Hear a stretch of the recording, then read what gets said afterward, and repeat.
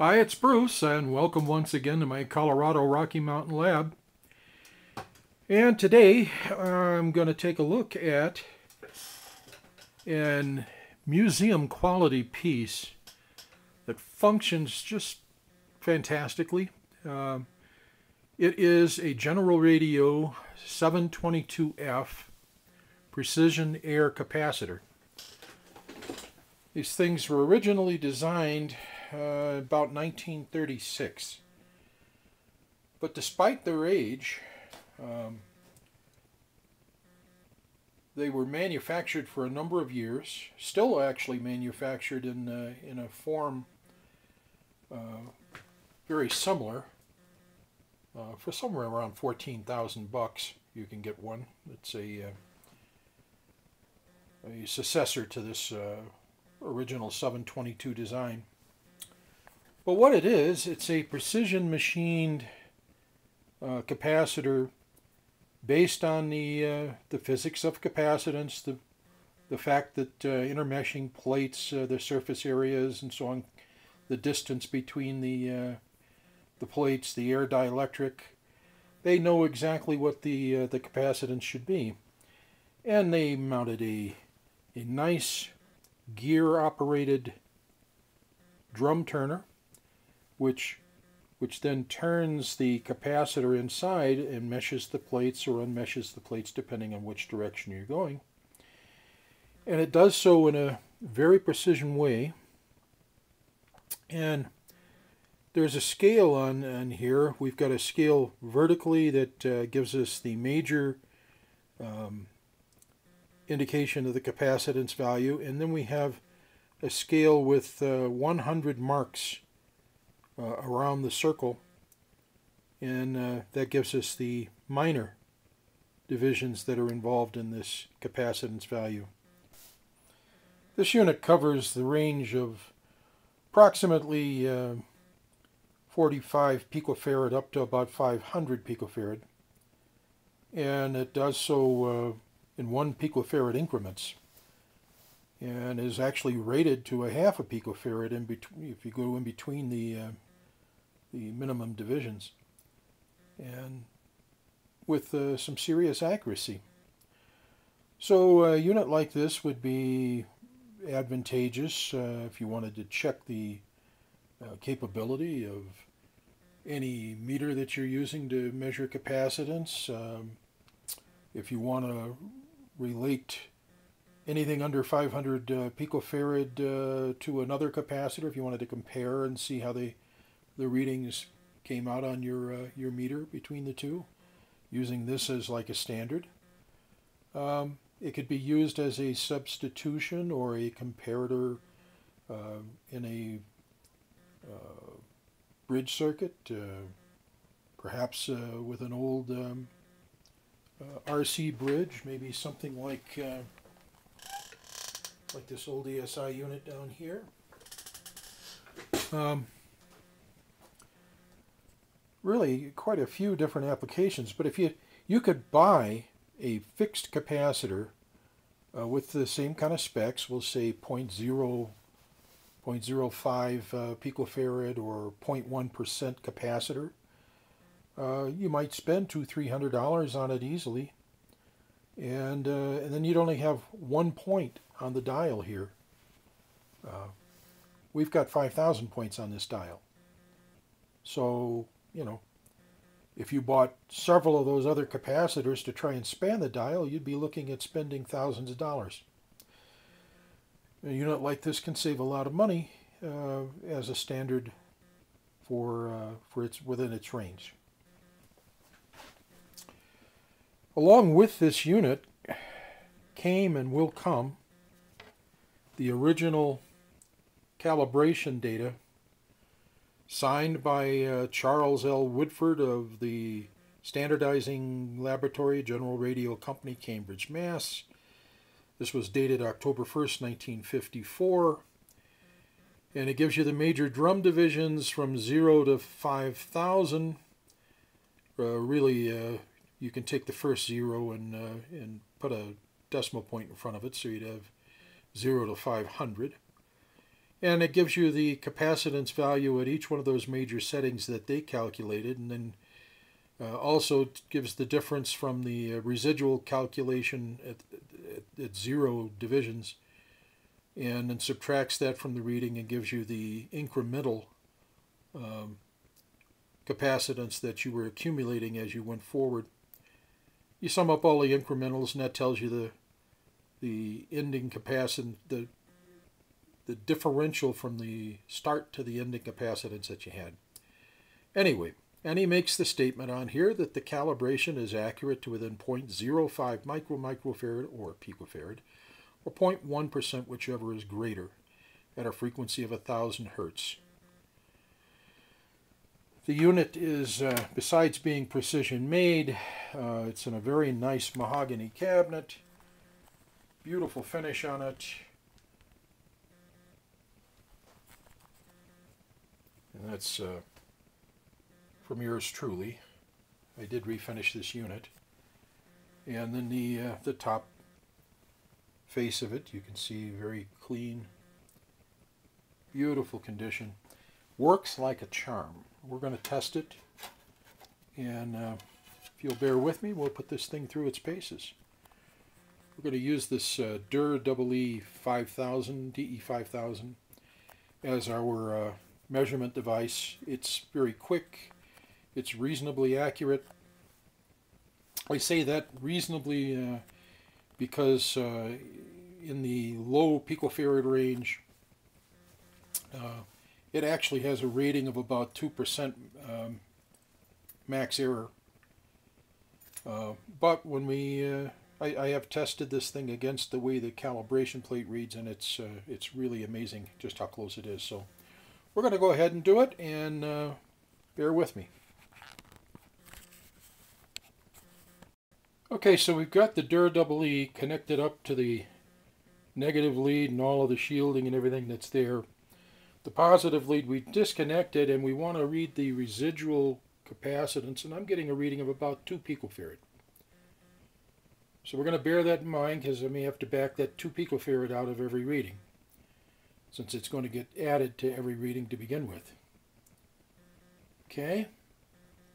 Okay, at a reading of 0, 0, we're getting a residual of 46.4, a reading of 46.4 on the LCR meter. Then we go up to uh, first major divisions 200 that they uh, calibrated at uh, GenRad. Make sure we get that right on. There we go. Right about there. So that's uh, 20 picofarad it should be. And we got a resultant reading of 50.9. Taking the, uh, the unit up to the next major division, which is 400. 95, 98, 99. 400, right about there, yep. And we got a reading of 68.4. Going up to the next major division, 600 or 60.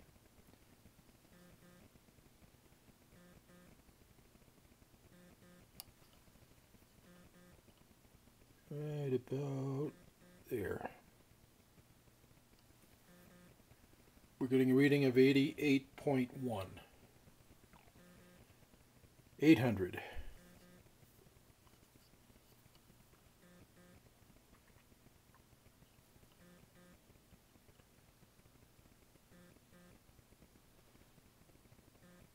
Right about there.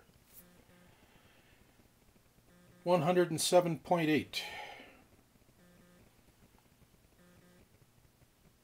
going to a thousand or 100 picofarad.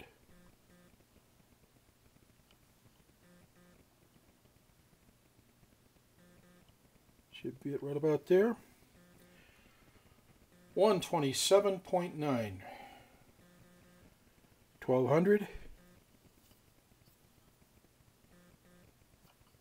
Just as interested in seeing these results as maybe you are.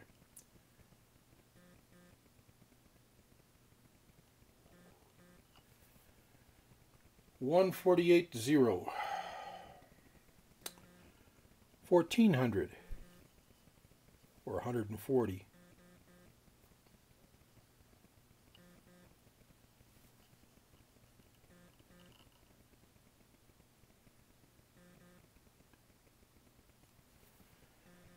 One hundred and sixty-eight point three. All right, uh, sixteen hundred. 160 picofarad.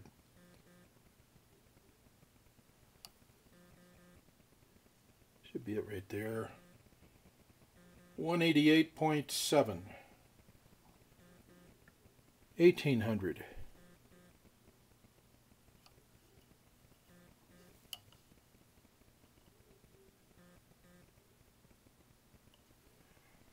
Two hundred and eight point, mm, well, make it two hundred and nine. 209.1. Okay. Going to 200 picofarad, or 2000 on the dial, whatever.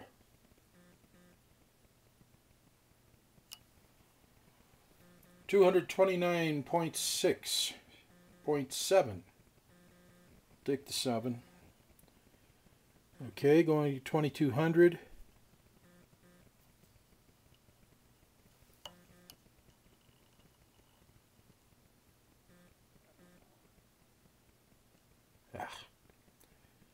get it right.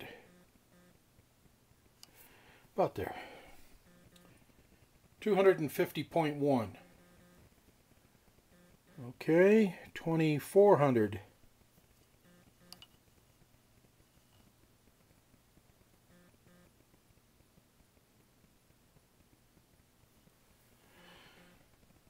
Two hundred seventy point five. Twenty six hundred.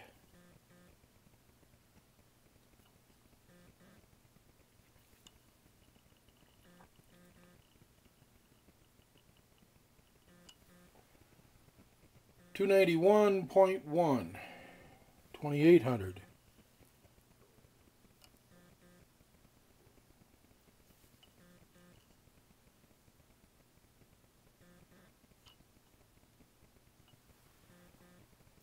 Three hundred and eleven point four. Okay, three thousand or three hundred picofarad.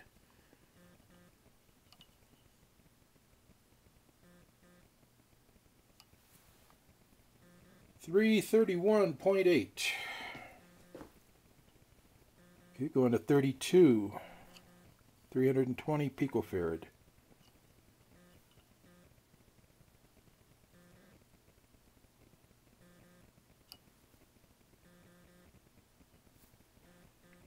Three hundred and fifty-two point three. Thirty-four.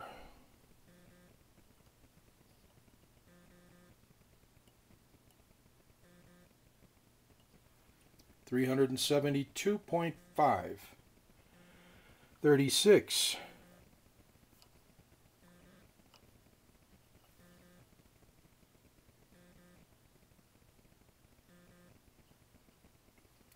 Three hundred ninety-two point eight. Thirty-eight.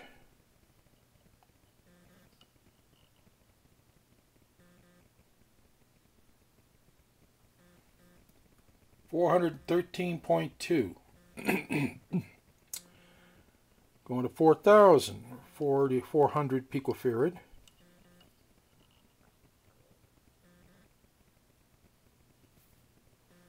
Four hundred and thirty-three point four. Forty-two hundred or four hundred and twenty picofarad.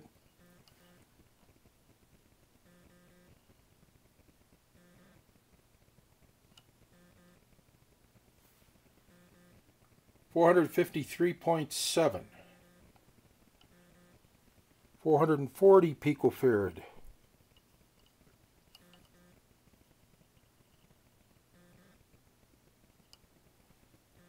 Four hundred and seventy-three point three. Point four. Um, four hundred and sixty picofarad. Overshot. We'll come back and do it again. Right there. 493.0.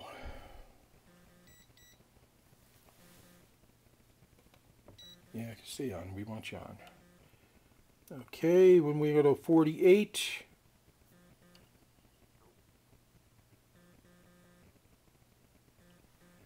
Five hundred and twelve point four, and finally five hundred picofarad. This is at the end of the uh, the scale, and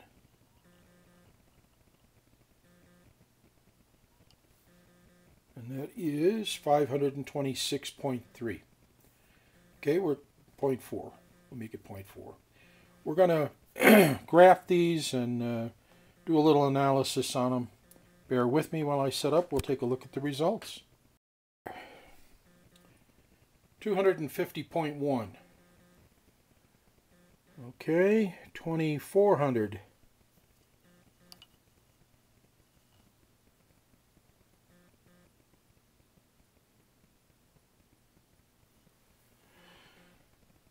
Two hundred seventy point five.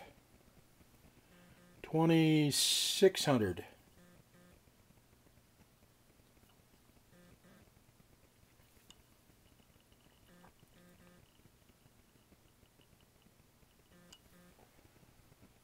Two ninety one point one. Twenty eight hundred.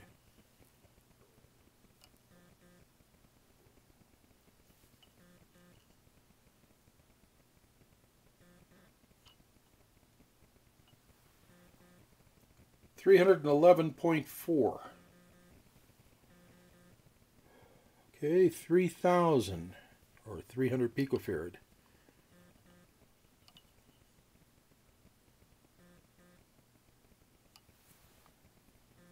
331.8. Okay, going to 32. 320 picofarad.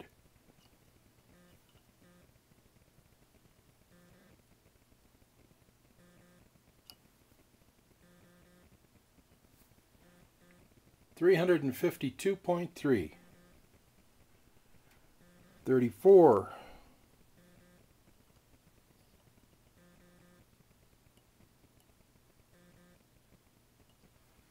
372.5. 36.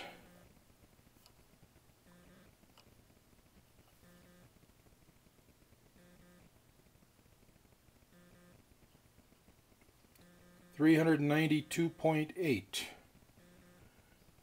thirty eight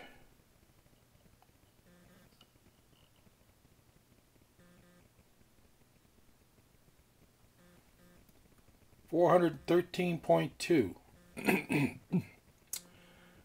Going to 4,000 for the 400 picofarad.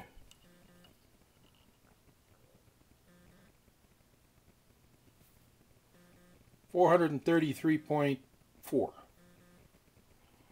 Forty-two hundred or four hundred and twenty picofarad.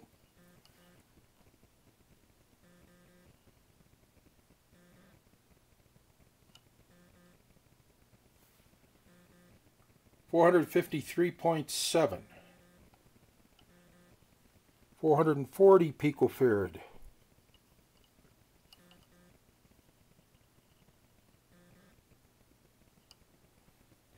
Four hundred and seventy-three point three. Point four. Um, four hundred and sixty picofarad. And we overshot. We'll come back and do it again. Right there.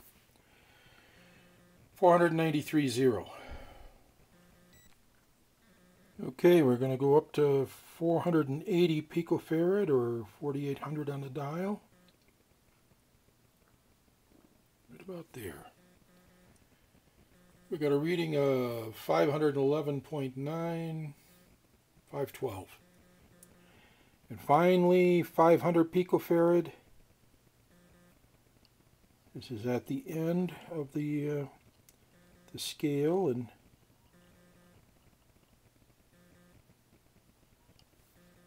and that is 526.3. Okay, we're 0.4. We'll make it 0.4.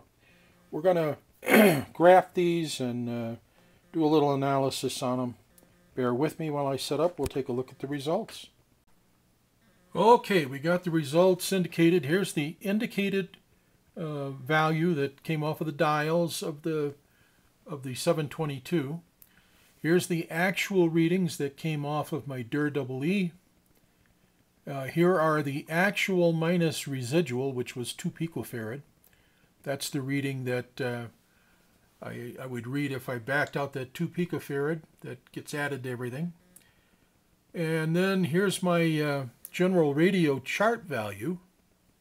And then finally, the difference between my general radio chart and my actual minus residual readings that I got off the double E.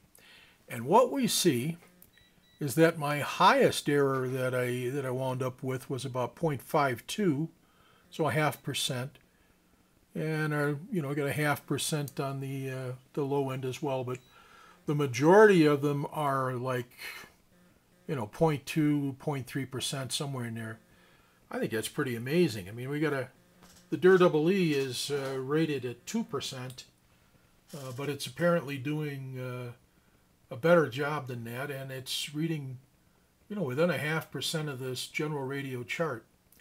So then you're left asking, you know, yourself, which one do I believe?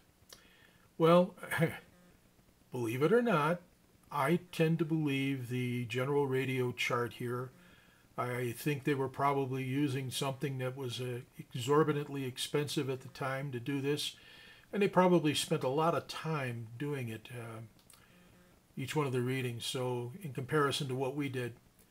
So I'm going to use their readings as, uh, as probably the truth here and say that, uh, you know, me being within 0.3 to 0.5% of that reading is uh, pretty amazing on that little double E of mine. And when you graph the chart, here's the graph. And you can see that, um, well, if I move her down just a little bit here. Okay.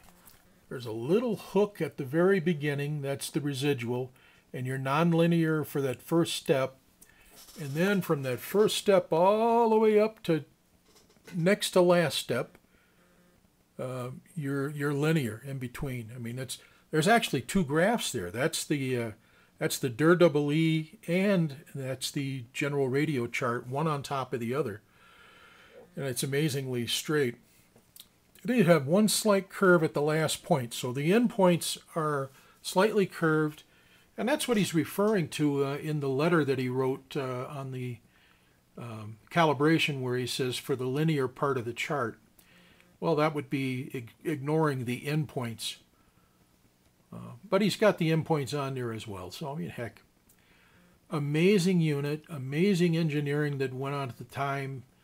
It's a fantastic uh, physics experiment, really, uh, uh showing the relationship between capacitance and, uh, like I said, all of the uh, the plates, the dielectric, the angle angle of um, movement that you did to, to bring the plates together um, and they had it all calculated and worked out and, uh, and built it into a unit that performs magnificently.